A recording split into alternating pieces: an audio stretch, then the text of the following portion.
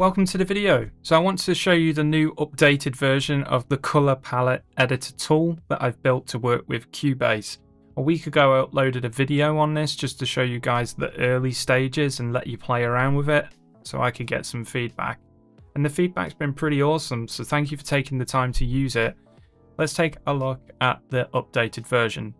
So when you open up the browser, um, you will get a pop-up menu just to tell you what you need to do roughly when we get to the final version, I'll do a tutorial video that will pop up here. And if you want to hide this, then you can go to don't show again and then get started. By default, none of the tools will work until you first of all import your default XML file. Now, I'm going to open this up. I've got a folder that I've pinned in the file browser just so I can quickly get to the location, pull my Cubase XML file and you'll see here this is the current color palette that I use on all of my projects. Now to show you the improvements and changes to the tool, first of all I'm just going to remove all these. So we'll treat this like we're building an entirely new palette. The main meat and potatoes of this tool is the gradient generator. This is a really simple and quick way to generate swatches and gradients. How this works is when you choose a start color, the end color for your gradient will be automatically calculated and you can control the brightness of that end point using the end slider. So if I want the end color of the gradient to be more towards white or brighter, then we have that control here. I like to leave this as around, well, set to 75%, which is the default. And um, if you want to also experiment with things like saturation for those colors, you can use this slider to make the gradient more pastelized. Now one of the requests was to add a manual mode, so you could manually choose your own endpoint. And you can now do that. So up here, click on this little icon to disable the auto mode. And then you choose your end point and where you want this to live. And when you update the start color, like so, It'll also update the color for the endpoint, but remain in that anchored position so you can generate your own kind of, you know, whatever you want to do. Now, the steps tool allows us to generate four colors at a time. So let's just go for something a little bit different here, like this, or you can go for eight colors at a time. We now have an improved version of the harmonized button, hmm? which I'll show you at the end. And the other tool here, which is a new tool, is the color picker or eyedrop tool. This is really useful for quickly pulling colors from different things like a family photo or maybe you've got a swatch of colors that you like and you want to convert into a palette to use in Cubase. You can click on this tool and you'll be able to click anywhere on your screen to pull a color and it will add it in straight away. You can also use this tool using the short key, which is E, that lets you do the same thing over and over, quick and easy. So you'll be able to build palettes, you know, much quicker.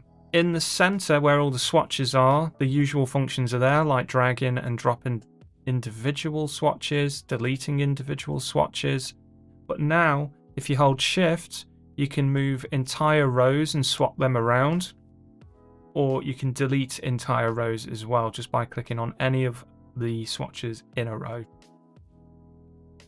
Over to the right, we've got this new menu and I've moved the import and export function. So import obviously to load your defaults XML, you build your color palettes and then once you're happy, you click on export and it will generate a new defaults XML, which is the one that you use to replace uh, the one in the current Cubase directory. Below this, we now have some presets. These are built in, so if you want to use my color palette, then you can just click on apply and it will automatically add those colors in ready for you to export your new defaults XML.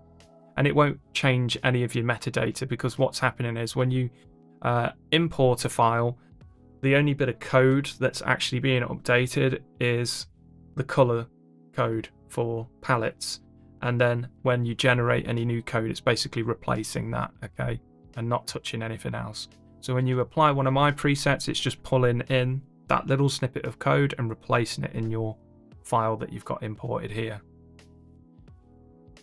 Now next to this, or should I say below, we also have a colour preset that's been kindly shared by Jason Graves, who's an award-winning composer, really awesome guy.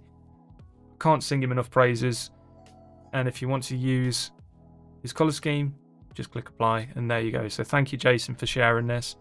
And I've added some links down here. If you're not familiar with the name, you've probably heard Jason's music across Dead Space, the trilogy of it, Far Cry, Moss. There's just there's so many things he's worked on and just a really cool dude. So if you want to go to his website, check on check on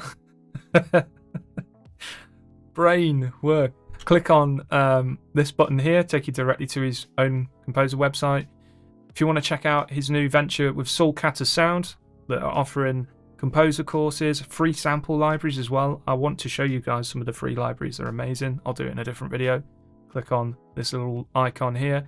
And if you want to go watch some of Jason's YouTube videos or listen to his music he's uploaded, head over to his channel, subscribe, like, check him out.